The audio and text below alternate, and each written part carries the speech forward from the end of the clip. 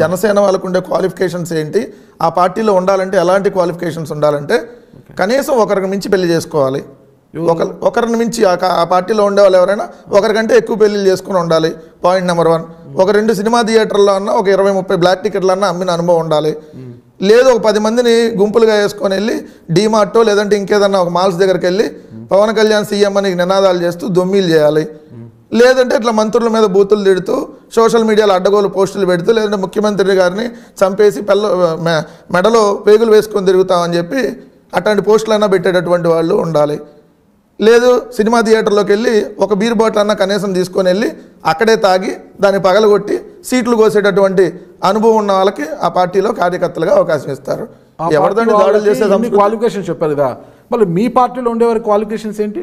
వాళ్ళు తిట్టినా సంయమనం పాటించాలి. వాళ్ళు ఎటువంటిగా రెచ్చగొట్టే ఉన్నా మనం కూడా రెచ్చిపోయి మాట్లాడొద్దు.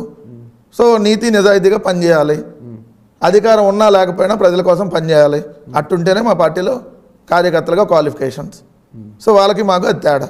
అవన్నీ ఉన్నాయంటారా ఖచ్చితంగా? ఉండబట్టే కదా మేము ఈరోజు ఒక సీట్ నుంచి నూట యాభై ఒకటి వచ్చినాయి.